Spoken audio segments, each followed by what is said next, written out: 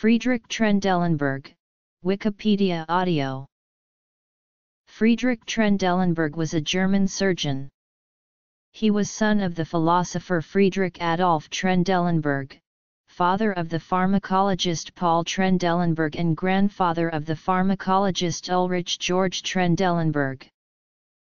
Trendelenburg was born in Berlin and studied medicine at the University of Glasgow and the University of Edinburgh. He completed his studies at the Charité, Universitätsmedizin Berlin under Bernhard von Langenbeck, receiving his doctorate in 1866. He practiced medicine at the University of Rostock and the University of Bonn. In 1895 he became surgeon-in-chief at the University of Leipzig.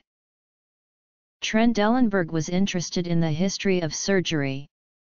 He founded the German Surgical Society in 1872.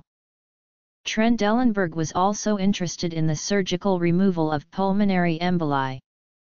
His student, Martin Kirschner, performed the first successful pulmonary embolectomy in 1924, shortly before Trendelenburg's death. He died in 1924 of cancer of the mandible, aged 80.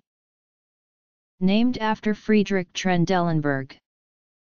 A number of medical treatments and terminologies have been named after Friedrich Trendelenburg, including Brodie Trendelenburg percussion test is a test for incompetent valves and superficial veins, Trendelenburg's cannula, a cannula used during surgery of the larynx to prevent the patient from swallowing blood during surgery involving the head and neck, Trendelenburg gait, an abnormal gait caused by weakness of the abductor muscles of the lower limb, including the gluteus medius and gluteus minimus muscles, Trendelenburg operation, ligation of the great saphenous vein, for the treatment of varicose veins. This term may also apply to pulmonary thrombectomy, Trendelenburg position, in which the patient is placed on a bed which is put into incline such that the patient's head is lower than his feet, Trendelenburg's sign, a sign of congenital dislocation of the hip, Trendelenburg's test, a test for varicose veins as well as a test to assess hip mobility.